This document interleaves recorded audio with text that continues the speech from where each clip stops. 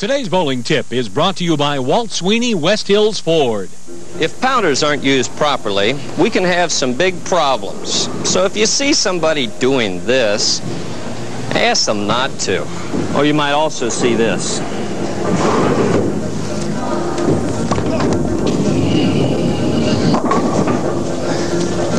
Don't use powders on your shoes, please. There are safe products available that work and it can be purchased at your local pro shop. Just ask. Another problem we see too many times is, well, too much stuff on the scoring table.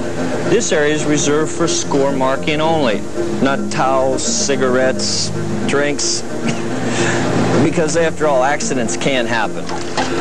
It comes down to common sense. Sure, it's your night out, and we want you to have fun, but be considerate of the equipment and the other bowlers.